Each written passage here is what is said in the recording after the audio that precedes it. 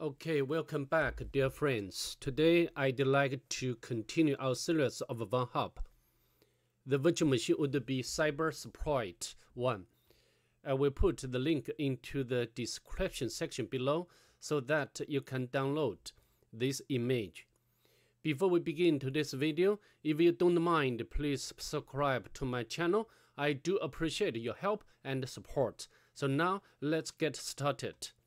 To save time, I have already imported uh, this virtual machine into the VirtualBox. I also configure its network adapter as host only mode. Now I'd like to enter into the Kali Linux. As you can see, I have already identified the IP address of the virtual machine as 254 uh, of course, you can uh, use um, uh, so many different uh, tools like NetDiscover to do this. And also, I did the Nmap scanning. I did the scene scan, the version scan, the script scan, and also did the comprehensive scan by specifying the option of dash p dash. From the Nmap scanning results, as you can see over here, the two open ports on the virtual machine or target. The first one is 22, which is running SSH service. Also, the actual version information and uh, the version number is displayed here. Of course, as we know, uh, this version doesn't have any vulnerability what we can exploit. The second open port is 80, which runs HTTP service, also the actual version information. And uh, what we are going to do next is to do some enumeration for the 80 port because the 822 is invulnerable at this point. Now let's open up our browser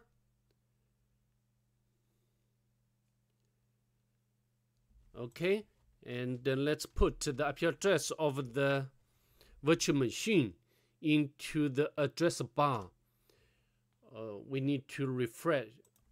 I think uh, we need to uh, remove the the history host name record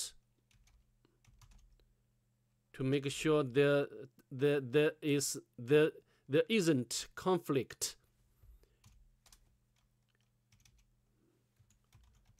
the right and quit. And now let's maybe we can use the private window mode.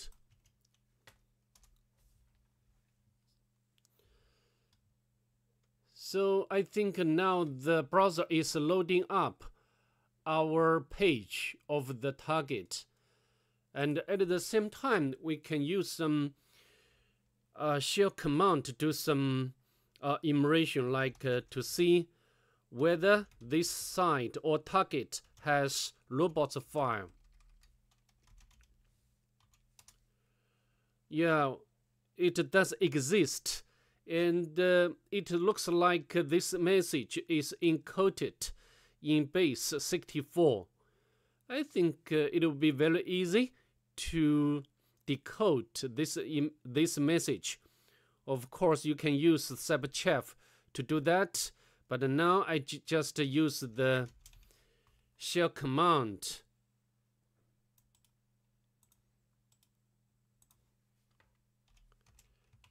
base 64 and the option is decode. Yeah, good work.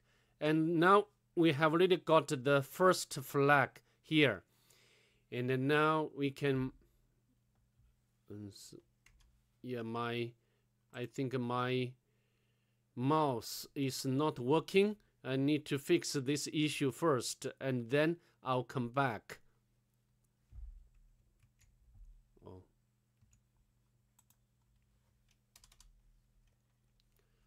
but I cannot use the mouse. I I can only use the keyboard. Okay so how to do? Yeah now I think it's working. Sorry about that. And now we can yeah it's it's still lo loading because we have already configured the network adapter as host only, and the source code I think this the JavaScript i think javascript uh, code need to connect to outside. Of course it will fail. So I think uh, to save time we can use some other commands like nicto to do some immersion but uh, nicto doesn't give any anything useful.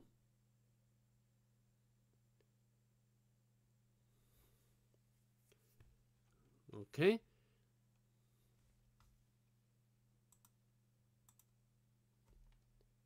I think uh, this page yeah now we have already got the the page done and we can view the page source. As you can see here there is one comment it says the username is this one. Maybe we need to make a note of this information because this information is so important. And uh, when i did um, uh, the first time i can use like hydra. And uh, specify the word list as queue and uh, try to crack the password for this user. But I can tell you, you will fail. You cannot uh, retrieve the password. So I think the the answer is the password we have already got that. We just missed out. Because as you can see, yeah, we got the first flag. And this flag itself is password for this user. yeah, I think we, which is not uh, usual thing in the VanHub virtual machines or VanHub box. But anyway, uh, this is the the right answer and we can make a copy and uh, we can log in. Uh, we can maybe we can make a note. Yeah and then we can log in to the virtual machine.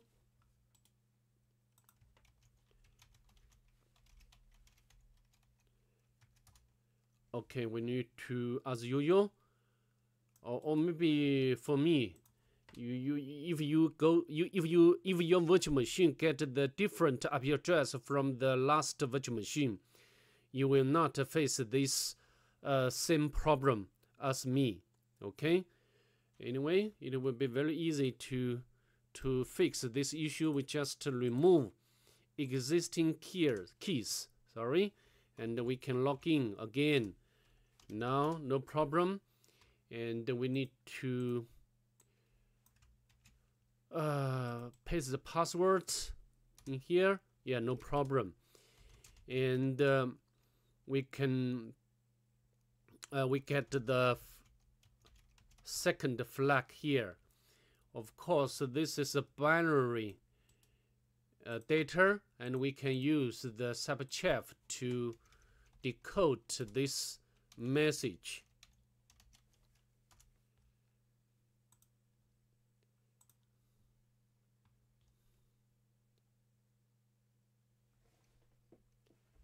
okay? And uh, we can select operation as binary. Yeah from binary. And we got the second flag here. And also uh, of course the the next objective for us is to elevate our privilege to root user. And normally we can do like uh, sudo and we can copy the password but uh, no, sorry, user. This user may not run sudo on Cyber Sprite CTF machine. And also we can use the find command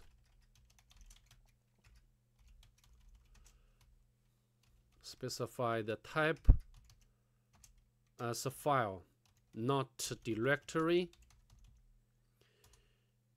And uh, I can tell you we cannot get anything useful uh, at this point. So how to do? Maybe we can go to the temp, temp directory and we open up our tab and uh, go to the cyber and we can copy the name-pairs to our working directory and we can upload this shell script.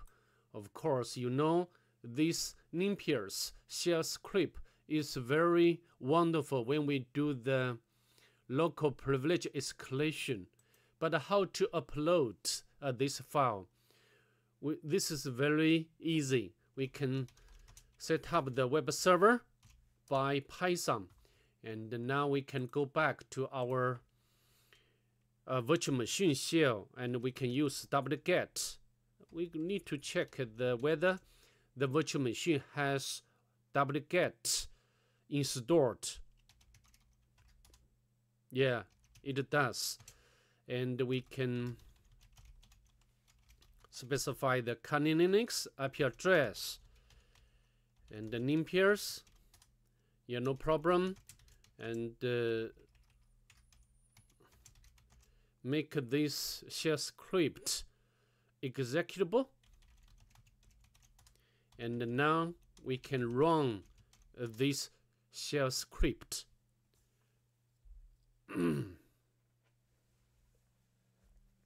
so I think the version of kernel is a bit outdated it must uh, have the local the local vulnerability which allow us to elevate our privilege.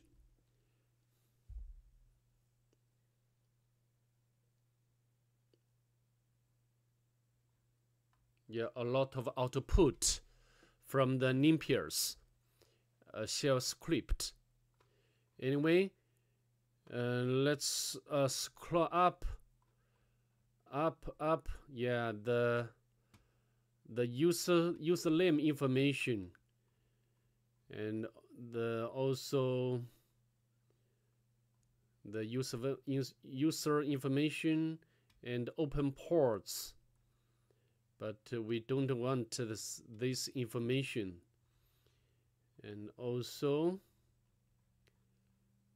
yeah the cron cron job information. But nothing special here. And also the process information. And as you can see we have already identified some exploits. But I can tell you I tried this, um, this uh, exploit it doesn't this exploit do not work so how to do because we have already got the the version of a kernel is this one. We can make a copy and we can open up a new tab. In the cyber and we can use the search sprite utility to search uh, this version of kernel to see whether this has vulnerability. And of course a lot of because I just mentioned this kernel is a bit old or outdated outdated. But of course you can try uh, one by one the I mean the exploit. But I can tell you this just uh, this one will work. Yeah this one. So we can uh, copy this exploit to our working directory. We can use uh, M the option and paste in here. Now we got the exploit. And now next we need to upload this this file or C code file. And uh, we can make a copy of the file name. And uh, now we can use wget again.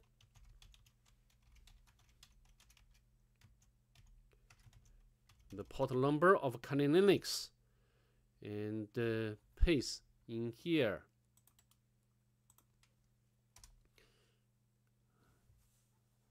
A connection. Oh, sorry. I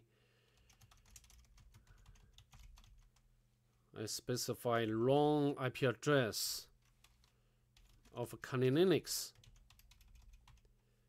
and uh, paste in here.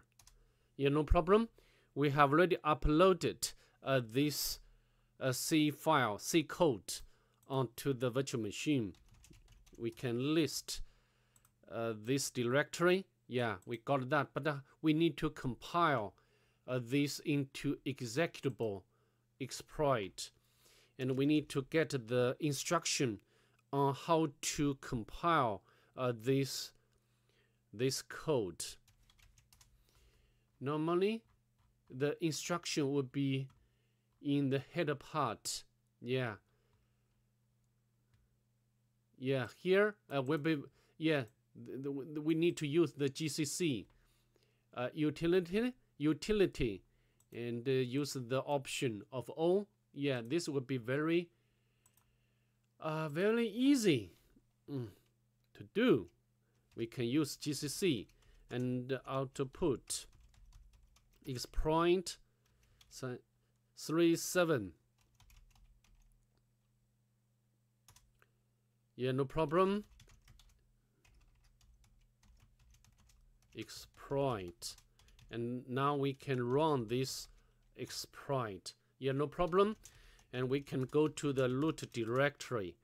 And uh, we got or retrieved the final flag here. Okay, so we successfully elevated our privilege and uh, retrieved the root flag here.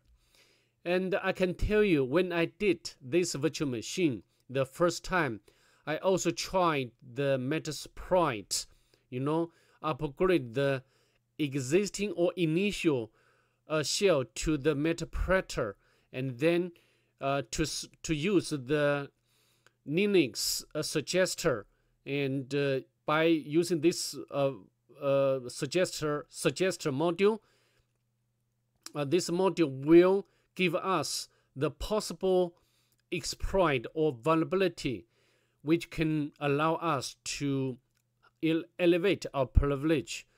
But uh, I want to tell you, I I failed. I when I use the Metasploit to do this virtual machine.